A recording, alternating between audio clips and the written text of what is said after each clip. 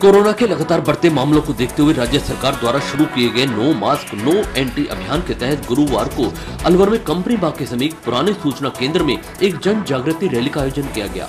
इस रैली में स्काउट व गाइड के अलावा महिला एवं बाल विकास विभाग के कार्यकर्ता व आशा सहयोगिनियों ने हिस्सा लिया। इस रैली का शुभारंभ श्रम राज्य मंत्री टीकाराम जूली व नगर परिषद सभापति बीना गुप्ता ने किया। इस अवसर पर जूली ने कहा कि देश और पूरे विश्व में जिस तरीके से कोरोना के मामलों में लगातार बढ़ोतरी देखी जा रही है, उसे देखते हुए एहतियात बरतना बेहद ज़रूरी है। इसलिए यह आवश्यक है कि लोग जब भी घरों से निकले, मास्क पहन कर निकले। जूली ने कहा कि जब सख्ती होती है तो कोरोना के मामले में कुछ कमी आ जाती है और लोग लापरवाह हो जाते हैं। इस लापरवाही के चलते कोरोना के मामले लगातार बढ़ रहे हैं। जूली ने कहा कि जब तक वैक्सीन नहीं आती, तब तक यह ज़रूरी है कि लोग अपना बचाव खुद करें और मास्क पहने।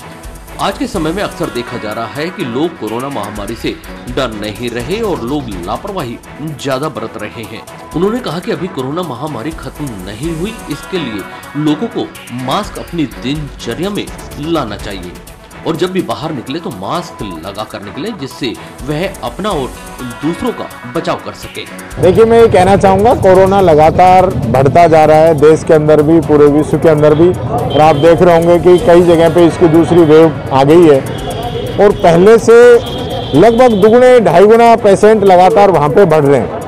तो इसलिए मैं कहना चाहूँगा कि यहाँ भी जो देख देखने में जो ट्रेंड जो नज़र आ रहा है वो यही है अभी मंत्री महोदय जब शक्ति जब होती है जब शक्ति होती है तब कोरोना के जो आंकड़े हैं वो कम हो जाते हैं।